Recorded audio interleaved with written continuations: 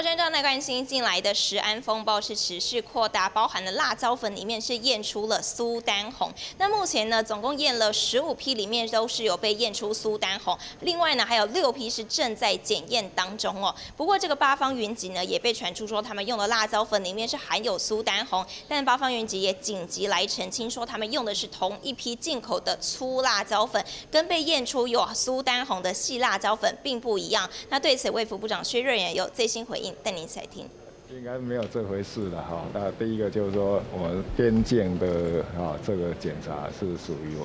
我们食药食药署管的。那在去年开始，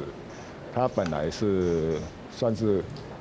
原来是一个个案嘛，哈，就检检查到有苏丹红。那其实那时候在检查辣椒粉的时候，呃，违规的哈这个批次里面。呃，苏丹红哦，一开始五月的时候是只有一批啦，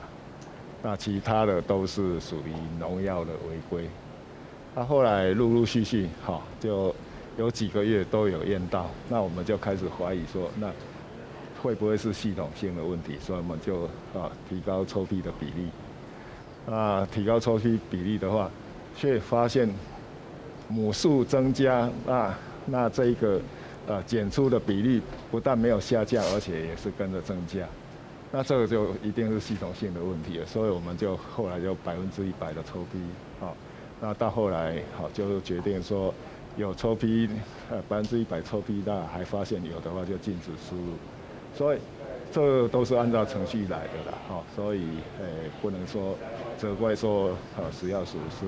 是所有的螺丝松了，是没这回事。